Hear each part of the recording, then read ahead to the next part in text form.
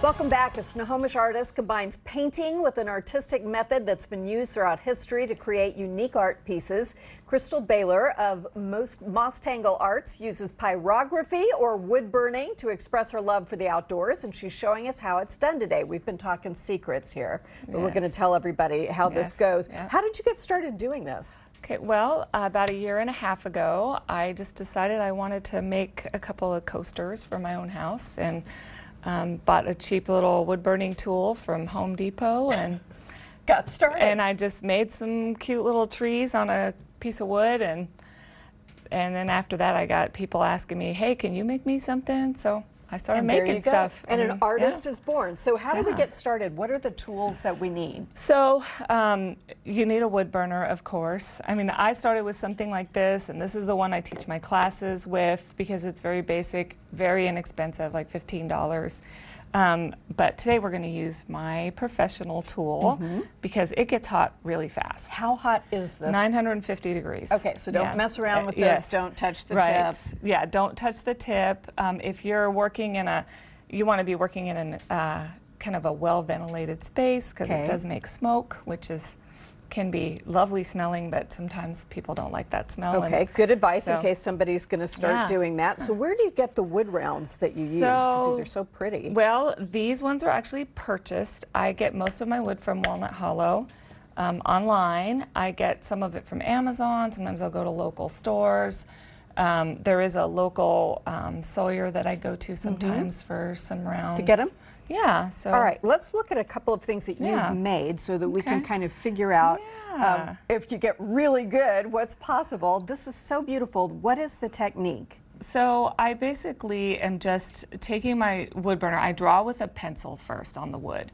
Give myself something to kind of sure. work with, get the composition right, and then um, I just basically draw with fire. I mean, that's what pyrography is. Trying so, with fire sounds yeah. so cool. And then what kind of paint do you use to make some uh, of those backgrounds? Watercolor paint and gouache, and I haven't used acrylics yet, but you know, I've only been doing this a year and a half, so I, I got a lot of experimenting Yes, you're so good. Okay, so. let's do this thing. Yeah, We've got okay. um, my little piece of art has uh, penciled out a design. Thank you yeah, very much because I probably can't can't freestyle it with 900 right. degrees. Let's make sure we do right, this right. right. So what's okay. next? What's our next so step? So you're going to take this pin, and normally what I teach is that you want to do the foreground first. So okay. you're going to take this pin. I'm just going to do one little mark for you, you so you can kind of, and you just kind of start wherever you're comfortable, and you just draw with the pen. See how it kind of leaves a mark behind yeah. and it's not that hard with this pen super easy to now do. Now, am i leaving marks or am i actually you're actually um, burning the wood burning the wood yep. and so there's going to be an indentation yeah so I'm you're done. actually getting a little dent Ooh, with the wood it. and you can smell the burning like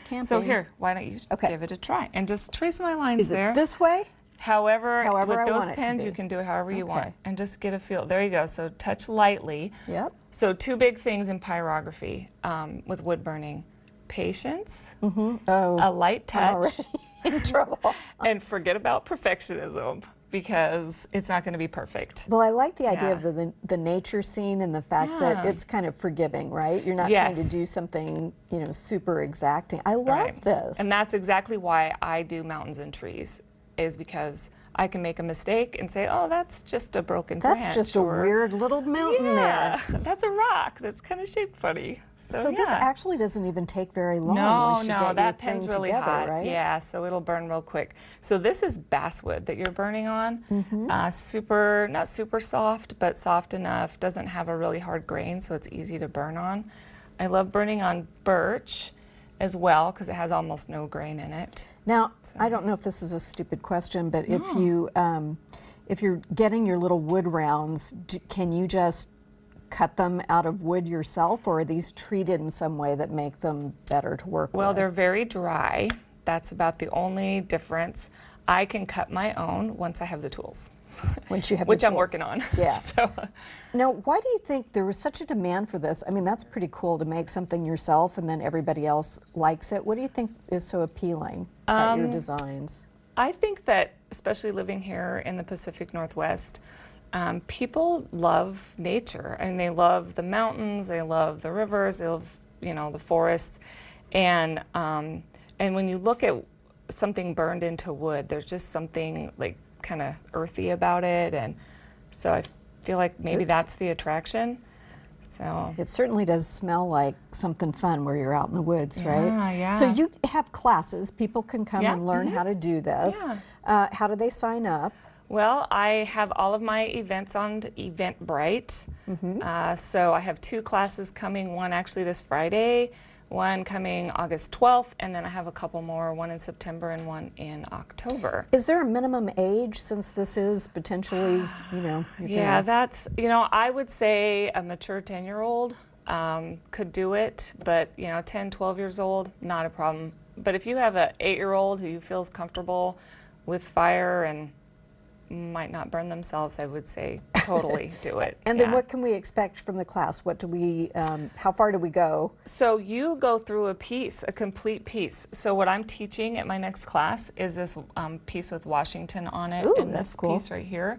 And I basically will give you a pre-made design, and you just transfer that onto the piece of wood, and then we will complete the burning before the night is over. That is and so And I cool. love to encourage everyone to add their own artistic little fun thing to it. Make a little, So, a yeah. little something different. I Yeah. think, I think I actually made the tree. She did. That wasn't so bad. Thank you so Look much. That. that. was super fun. Yeah, I'm you're going to smell like wood smoke all day. I kind You of know, like it. so- Add a little vanilla, and people will be you go. following me around. That's right. Thank you so much. Crystal's next wood burning class will be on August 16th at the Creamery Company in Marysville. We've put ticket information on our website as well as info for her other upcoming events. Thank you very much. Thank you. That was fun. I'm, was I'm fun. afraid to put it down. Um, Okay, I'll take it and put it Thank you for safety for purposes. you.